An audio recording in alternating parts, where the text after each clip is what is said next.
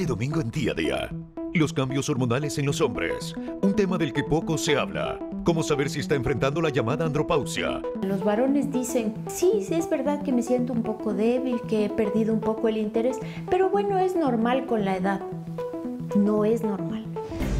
Contaminación del aire, devastación, secuelas físicas y emocionales. Hablamos de la huella que han dejado los incendios en Quito. Domingo, 9 de la noche a nivel nacional.